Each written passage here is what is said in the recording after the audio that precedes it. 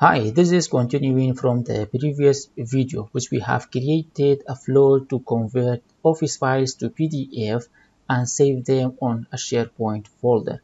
In this video, we will add some steps to create a link of the PDF file and share it by email.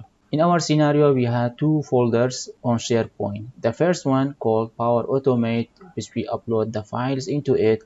And the second one is to save the PDF files which the flow created for us. Now we want to create a link for this PDF file and share it by email.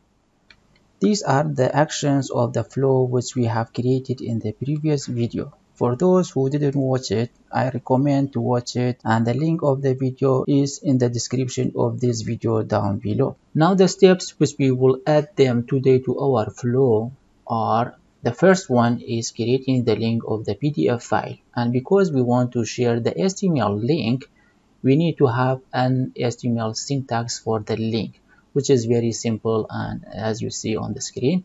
Then we will send the link and then we send then we send this link by email instead of attaching the file to the email.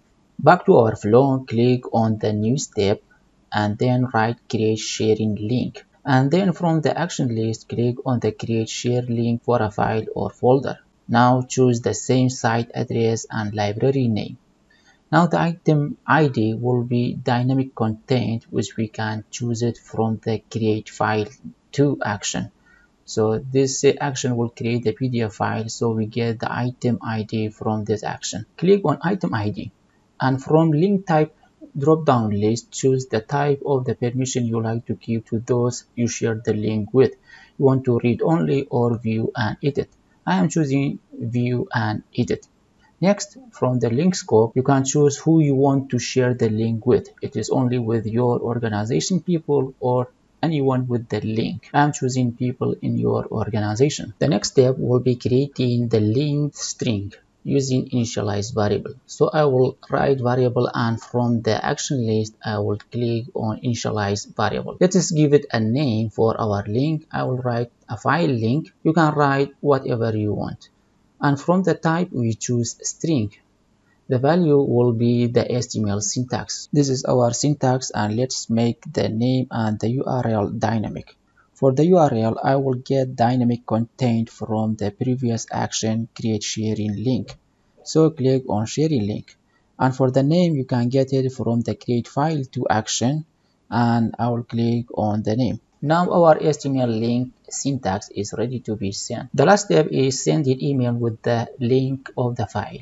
For this, I will write send an email and from the action list, I will click on send email version 2. Now, in the to field, I'll write the email address of those you want to share the link with.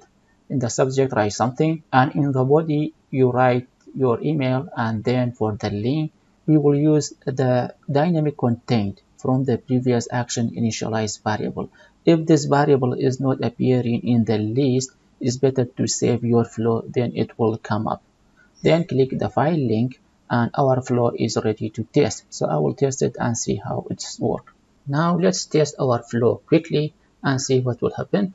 If I upload the file to our folder on SharePoint, it will start the flow running and then the flow will create a PDF file and upload it to the folder on the SharePoint and then send the link of that file by email. I hope this video was useful for everybody and see you in my next video.